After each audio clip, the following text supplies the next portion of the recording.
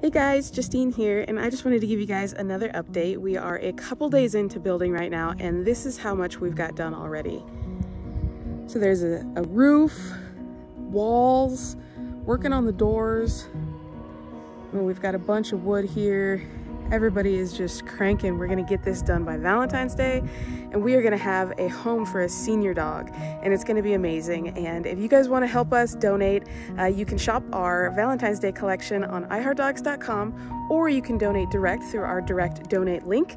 And we just wanna thank you guys so much for all the support you've already given us. You guys are heroes, you're incredible, and we are so, so grateful for everything that you've done already. And just look at what your donations are creating. It's amazing. Thank you guys so much.